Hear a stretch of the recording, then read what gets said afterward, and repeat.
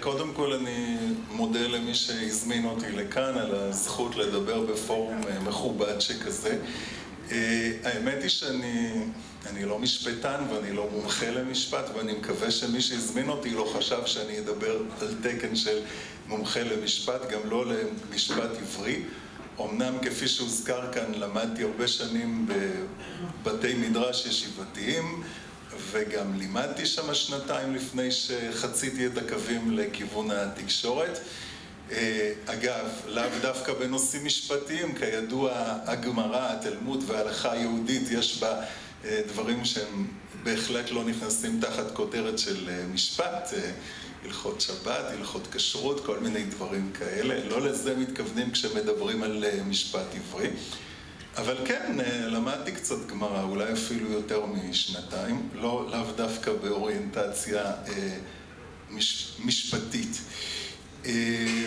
מה שאני מקווה שאני כן אוכל לתרום כאן לדיון זה מתוך המקצוע שבו אני עוסק בעשרים שנה האחרונות וקצת יותר, ואני מניח שבגלל זה הזמינו אותי, לתת מבט קצת מלמטה, מתוך הציבור, מתוך הכרת הציבור בכלל, הציבור הדתי בפרט, שהעיתון שלי פונה קודם כל אליו, וככה לראות את המצב במדינה ואת המצב בשטח ולאן אפשר לשאוף ולאן אפשר אולי להגיע. כמובן שאני שמח על הכבוד להופיע פה בפורום הנכבד הזה עם אנשים רציניים כמו הפרופסור מאוטנר ועם עמיתי ממערכת מקור ראשון אמנון לורד שעבדנו ביחד כמה שנים בהפריה הדדית אני חושב. אני כן אתייחס לכמה נקודות שהעלה פרופסור מאוטנר כבעיה. ואני אעשה את זה בקיצור כי זה לא עיקר מה שאני רוצה לדבר עליו אבל בכל זאת אני חובש הכיפה היחיד כאן בפאנל חוץ מהמנחה כמובן אז אני כאילו צריך לייצג את ה... את העמדה הזאת שהיא באמת עמדתי, אני באמת מקווה ומייחל. מה שאמר אותו חבר כנסת שבינתיים נהיה שר, לא, סמוטריץ', שהוא מקווה להשבת משפט התורה, השיבה שופטינו כבראשונה ויועצינו כבתחילה, ביום ירושלים במרכז הרב מותר להגיד את זה, אולי זה טעות שהוא אחר כך אמר את זה גם ברדיו בתוכניות רדיו, אבל ביום ירושלים בישיבת מרכז הרב מותר להגיד את זה, אני מקווה שגם בפורום הזה מותר להגיד את זה. אני קודם כל רוצה להעיר על הטענה שהמשפט העברי נולד בגולה, סליחה, מה נולד בגולה? התלמוד הבבלי? הרי כולו מיוסד כפרשנות של המשנה והמשנה זה יצירה ארץ ישראלית לחלוטין של תקופת בית שני אמנם שזה לא תקופת בית ראשון, היו כאן הרבה, הרבה השפעה זרה ושלטון זר וכל מיני דברים כאלה אבל בעיניי לפחות המשפט העברי הוא בהחלט יצירה ארץ ישראלית. לגבי הבעיה של חוסר הידע טוב, יש לזה פתרון. אם חושבים שבאמת המשפט העברי הוא מקור השראה, מקור סמכות, מקור השפעה חשוב שצריך להיות במשפט הישראלי, אז אפשר לחייב בזה. יש לי בת שנה, מסיימת שנה שנייה משפטים באוניברסיטת בר אילן, לא תגידו באוניברסיטה העברית.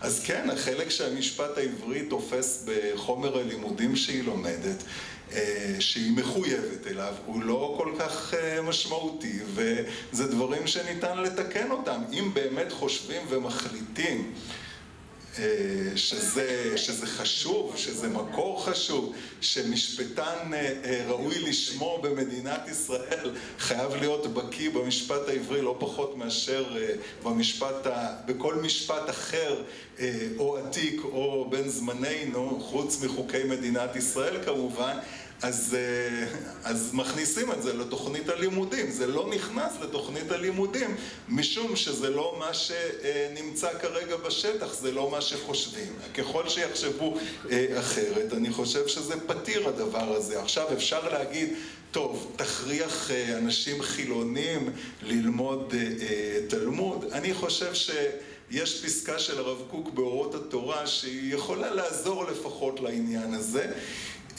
הוא מדבר שם על זה, אני אומר את זה בשפה שלי, כמו שזה ברור שכל אינטלקטואל בן העם היהודי, הישראלי, הוא צריך להיות בקיא ברמה מסוימת לפחות בהיסטוריה של עם ישראל, ככה זה מתבקש וכמעט אלמנטרי שהוא יהיה בקיא בהיסטוריה האינטלקטואלית של עם ישראל.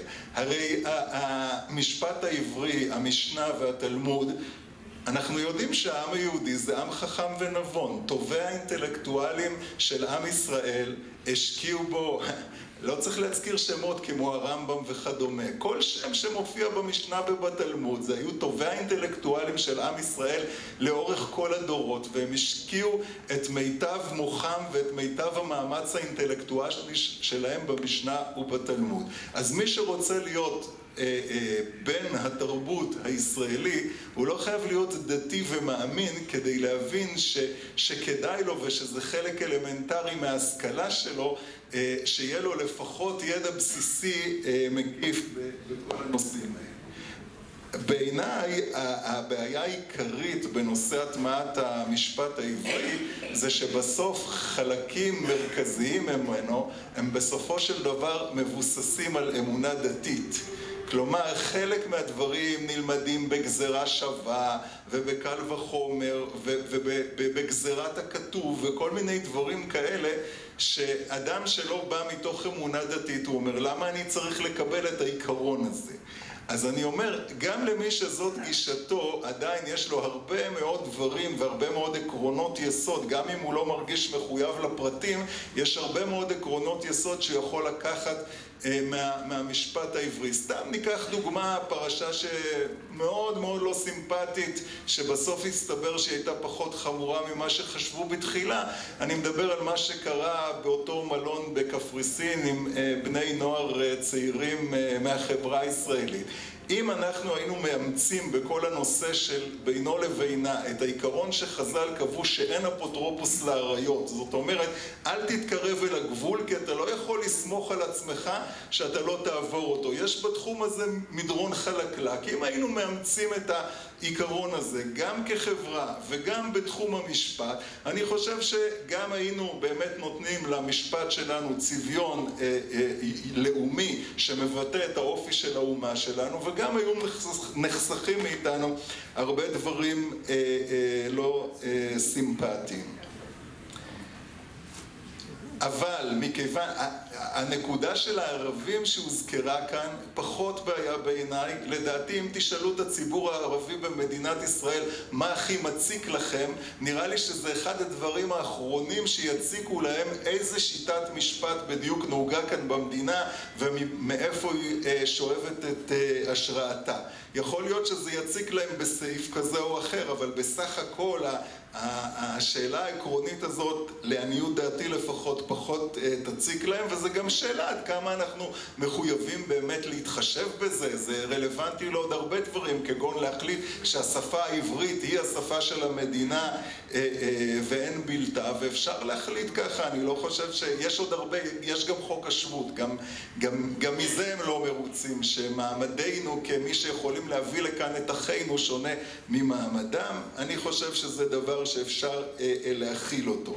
הבעיה העיקרית לפי דעתי זה שאי אפשר לחייב את הציבור החילוני במדינת ישראל כל עוד רוב הציבור במדינת ישראל, ואני אפילו לא בטוח שכל הציבור הדתי מעוניין שהמשפט שיחול עליו זה המשפט העברי, אז אי אפשר לחייב בזה.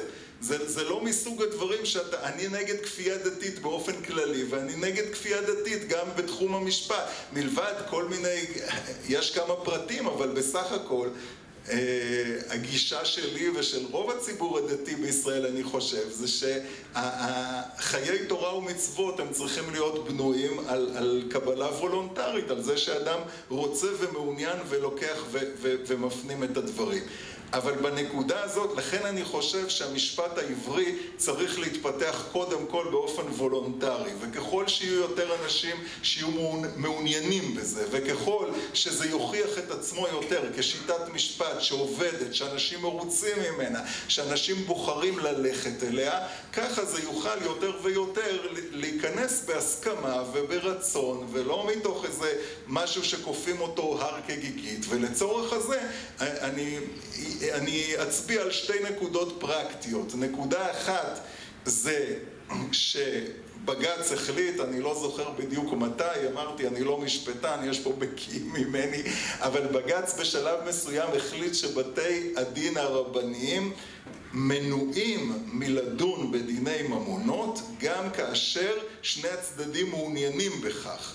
לא להכריח אף אחד, אבל אם אני היום כאדם אה, אה, דתי, יש לי סכסוך עם מישהו, נגיד שגם הוא דתי, ואנחנו רוצים אה, שידודו אותנו על פי המשפט העברי, אנחנו לא יכולים לפנות לבית דין של מדינת ישראל ולקבל את השירות הזה, משום שהדבר הזה שהיה קיים במשך עשרות שנים, בג"ץ החליט שאסור לבתי הדין הרבניים לעסוק בכך, וכל הניסיונות שנעשו מאז לתקן את זה בחקיקה נתקלו בהתנגדות מאוד קשה ולא הצליחו לעשות את זה עד היום. זה לפי דעתי בוודאי דבר שחייבים אה, אה, אה, לשנות אותו ולהחזיר אותו לקדמותו. זה הדבר האחד.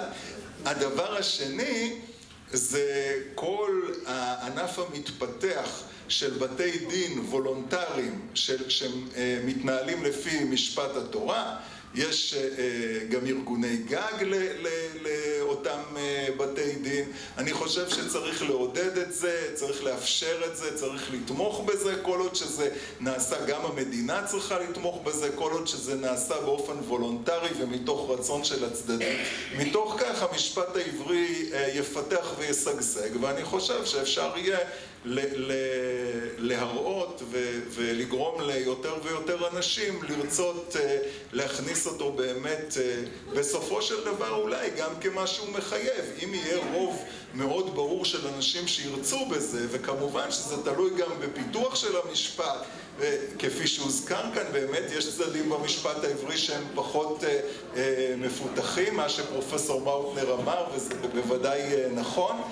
ככל שזה יהיה בפועל, זה גם מסוג הדברים שככל שהם באמת משמשים בפועל, ככה הם גם יותר מתפתחים. ככל שיהיו יותר אנשים שילכו למשפט עברי, יזדקקו למשפט עברי. אני אסיים באמת בדוגמה בעניין הזה מתחום העיסוק המקצועי שלי. אני לפעמים קשה לי, אני עוסק בעיתונות, ואני לא מוצא ספרות שמתייחסת לאתיקה המקצועית, העיתונאית, ממקורות היהדות. ויש הבדל גדול בין האתיקה בחוק הישראלי, סתם למשל, טענת אמת דיברתי, בהלכות לשון הרע ורכילות זה לא תופס, אז מה אם זה אמת? זה לא מספיק שזה אמת. צריכה להיות סיבה טובה מאוד לכתוב משהו בגנותו של אדם.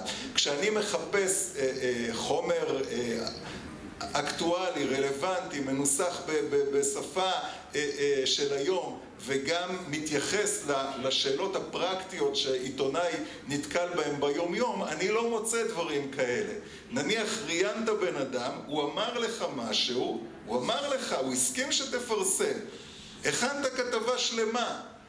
לפני הפרסום הוא מתקשר אליך ואומר, מצטער, אני מתחרט, אל תפרסם את כל הכתבה. או אל תפרסם את הדבר הזה והזה שאמרתי לך. זה מחייב אותך? זה לא מחייב אותך? בפרקטיקה העיתונאית של היום, חד משמעית, זה לא מחייב אותך. אמרת, אמרת, אבוד לך, הלך. בהלכה זה לא פשוט בכלל הדבר הזה.